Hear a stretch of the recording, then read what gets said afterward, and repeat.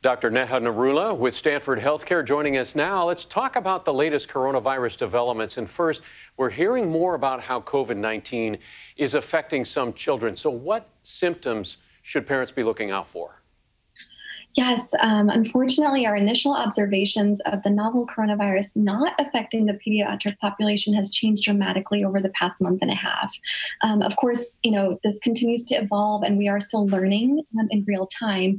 But as of now, what we do know is that children being affected by the virus, about two percent of uh, the positive cases are in children under the age of 18, uh, are presenting with a wide spectrum of symptoms. Um, majority of the children are having um, mild to moderate symptoms um, or no symptoms at all.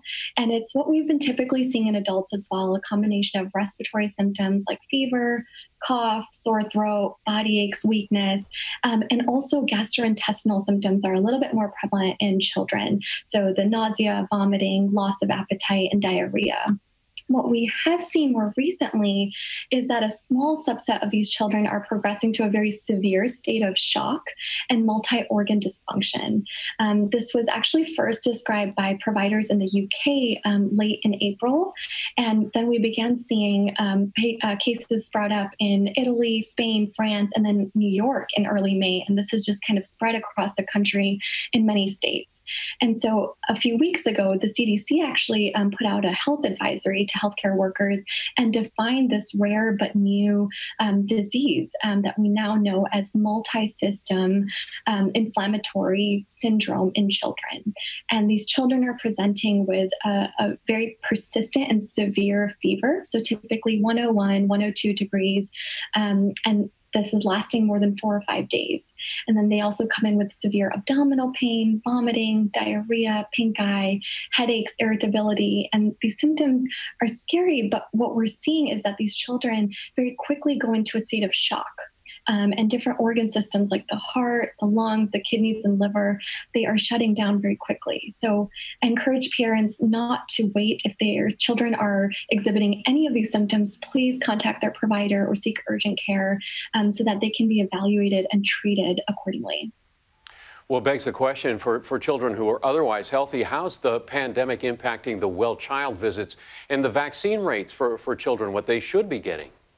Yes, um, the shelter in place, you know, it was crucial to flattening the COVID 19 curve.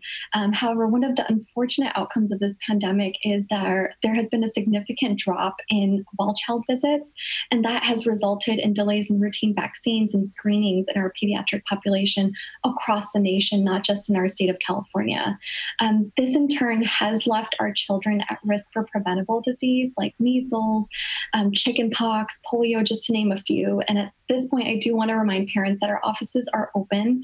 Um, we ask you to bring your newborns, infants, and children in so that they can get their comprehensive well child care visit and they get their screenings, their physical exams, labs, and vaccines. Um, while we do want to you know fight and stay safe in this pandemic we also want to avoid any secondary outbreaks of preventable illnesses as much as we can of course, but some families might be actually kind of concerned and worried about the safety of going back into the doctor's office. How would you address those concerns? Understandably, the fear is real. Um, uh, you know, we are seeing um, rises in heart attacks and strokes not being in, taken into the ERs. Um, I do want to assure you that medical offices, clinics, and hospitals are taking all the necessary steps to ensure minimal risk of exposure to patients.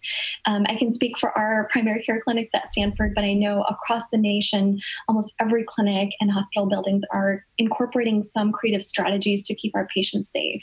Um, things like um, for your uh, well visits or routine visits, we are having patients wait in the car and check in via phone rather than through the front desk person in person.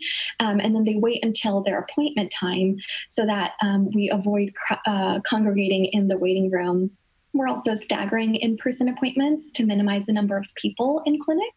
Um, and then we've also frequently adopted disinfection routines, not just for the, the clinic rooms, but the entire clinic space in, in itself.